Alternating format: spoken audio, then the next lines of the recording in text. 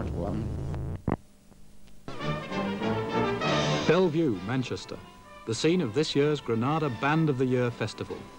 Ten of the finest brass bands in the country were locked in a fierce competition to decide which one of them would bear the title the Band of the Year. Each band played a half-hour program of their own choice.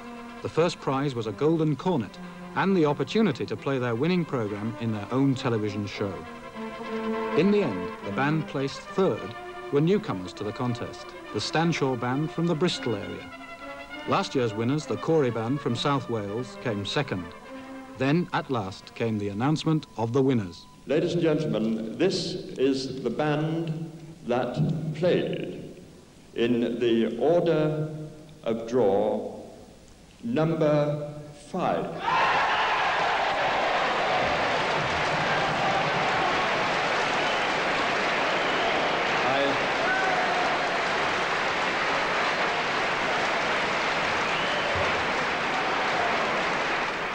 So the champions this year are the band from Grimethorpe Colliery near Barnsley, under their new conductor, Mr. Elgar Howarth. And now you can see the programme which made them the Band of the Year.